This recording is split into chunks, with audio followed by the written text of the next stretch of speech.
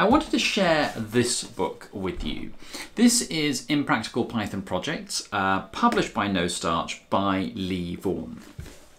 One of the difficulties, I think, when you are teaching yourself how to code is that you get to a certain point where you've learned kind of the basics and fundamentals of the language uh, and you know the syntax and you've implemented some very small toy projects, but you don't know how to take it any further.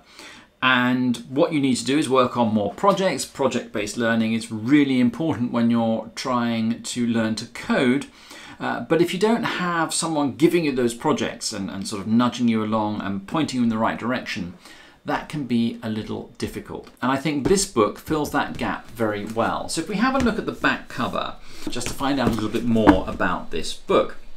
Python undeniably makes programming easier than ever to learn, but once you understand the basics, what do you do next? Maybe you just need some inspiration for your next weekend project. Follow along and flex your problem solving skills to help James Bond crack a high-tech safe with a hill climbing algorithm. Hill climbing algorithms are very important. Writing poems using Markov chain analysis, breed a race of gigantic rats with genetic algorithms. Genetic algorithms are another really important part of programming that would be very useful to learn. And plan a secure retirement with a Monte Carlo simulation. So you cover some really important topics in a very fun way and you're sort of guided through those projects. So let's have a look at two projects. One of the earlier projects, which are quite basic, I'm not quite sure how, but I seem to be inside an old operating system. Hmm. Anyway, if you click on the link in the description, you can come and take a look too. Why would you want to do that? Well, by doing so, you can enter Break the Code 2022, where you'll face a series of challenges and puzzles, and if you solve them, you can win some prizes. You could win an exclusive Keanu Reeves signed script of The Matrix, a James Bond GoldenEye weapon system, a custom MacBook Pro, and the top prize for the best codebreaker is a customized setup with the latest equipment worth $12,000. I've already entered the game and I've solved the first puzzle.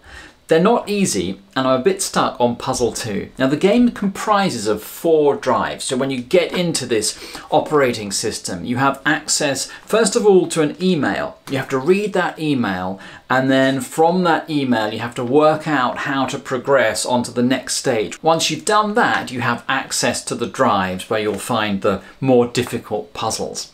A lot of thought's gone into this Break the Code 2022 by .tech domains. Just using the emulator is a lot of fun and the puzzles are challenging. You won't just be able to solve them straight away. I think you'll really enjoy doing it and there's the chance of winning some prizes. So why don't you just click on the link in the description and see what you think. Maybe, just maybe, you can solve all the puzzles. And they get more involved as you go forward. So chapter three, solving anagrams. Now, when you see the layout, if you're used to no starch books, you'll see it's a very familiar layout.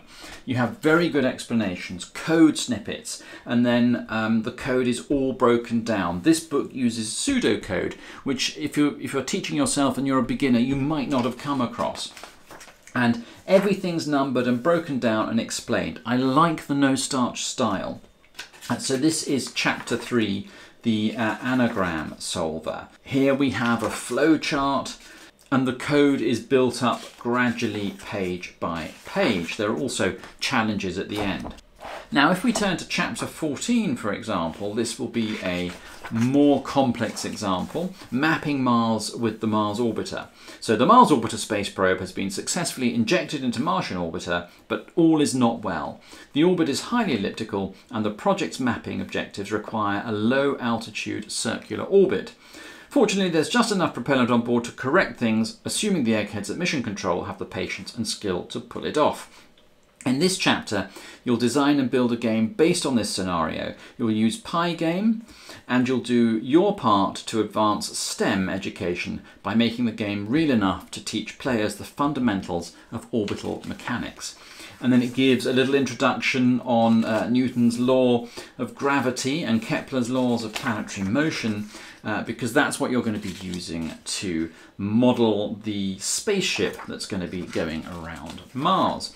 Uh, and so there's a little bit of theory, and then an explanation of how the interface should work, and then you move on to the code. And once again, everything is very well uh, explained and broken down.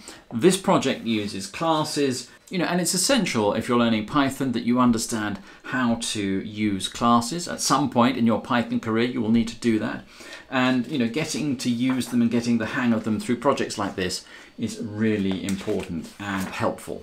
Uh, so this is a really nice little project uh, that will definitely help to further your understanding of how to problem solve and think about how to implement code that has a particular objective that will solve a problem that you want to solve. And the projects in this book are, are all excellent and I would definitely recommend it if you're if you've reached the point where you need to practice on some projects but you're a bit stuck as to what projects to pursue. The book is not expensive. In the UK, it was uh, £18, which I think for all of the contents that you have in here is very good value.